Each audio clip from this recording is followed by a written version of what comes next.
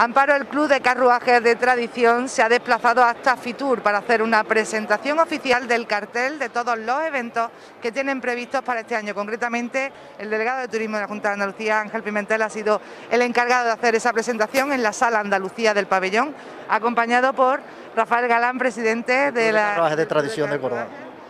Juan Antonio Merlo, vicepresidente.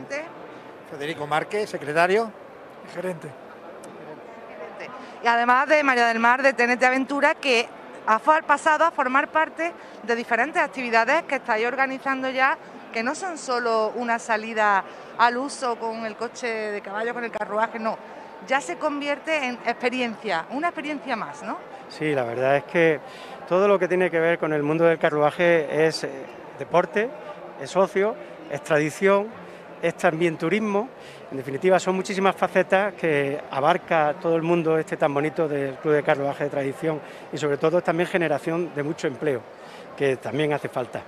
Rafael, ¿qué es lo que se destaca de este año 2022? ¿El, la fecha que no podemos olvidarnos o el lugar que no podemos obviar en nuestro calendario? Pues, lo que no podemos, tenemos que destacar, si la pandemia esta no deja, nuestra exhibición que va a ser el primer sábado de Feria de Córdoba, Luego tendremos que estamos organizando otra ruta por Córdoba, como ha dicho mi compañero vicepresidente del Club de Carruajes, y luego llegaremos a hacer el SIAT, que coincidimos con Cabarcor, que es el tercer fin de semana de septiembre.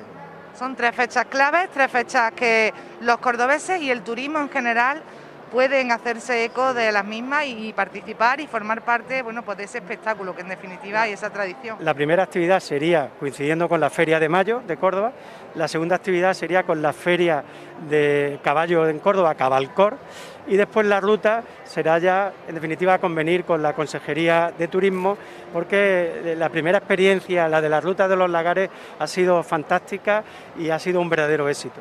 Esa ruta de los lagares, Ángel Pimentel, eh, muy buenas tardes, muchísimas gracias. Esa ruta de los lagares ha sido todo un éxito. Pues la verdad que sí, fue una propuesta que me hicieron desde el Club de Carruajes de poder sacar a la provincia eh, y mezclarlo con el vino, porque el maridaje entre el caballo y el vino y la tradición, la verdad es que está muy apegado y entonces me pareció una idea muy buena y lo llevamos a cabo. Eh, la Consejería de Turismo y Turismo Andaluz tuvo bien el poder patrocinar esa ruta de los lagares en la cual bueno, fue una jornada de convivencia con, eh, la gente del Club de Carruaje, incluso de, otro, de, otro, de otras provincias, porque vinieron gente de Sevilla y creo que de ah. Málaga también vinieron, y de Jerez también vinieron, entonces porque una de las cosas que sí que me, les pedí es que extenderlo y sacarlo a Andalucía para dar a conocer, lo primero, nuestro, nuestra tradición del caballo y lo segundo, nuestra tradición eh, del vino, ¿no? Entonces, bueno, se hicieron algunas degustaciones, algunas catas en algunos lagares, luego se hizo una comida de convivencia en, un, en, un, en otro lagar, entonces pues se mezcló la cultura del, vino y la cultura del caballo. Y la verdad que fue un día de convivencia muy bueno. día de convivencia donde además se suma la experiencia, en este caso, de otro sector, como es el sector del turismo de aventura, de actividades, que en este caso Mar de TNT Aventura tiene mucho que ver, que estuviste y hasta un globo, ¿no? tuvimos un globo, que la verdad es que fue una experiencia, aquellos que se subieron, yo al final no, no, llegué a subirme porque había mucha demanda, no porque me diese miedo, pero la verdad es que, bueno, pues yo creo que todo contribuye a que aquel día fue un día perfecto y que la gente, al ver todo este tipo de actividades, pues sea un incentivo a que se asomen a este, a este mundo del caballo, que es muy bonito, la verdad.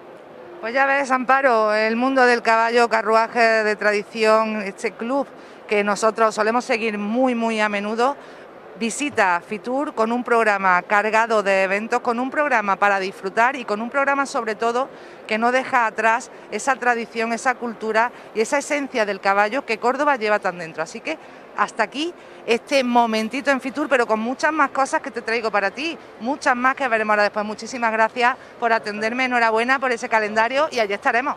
Muchas gracias a vosotros.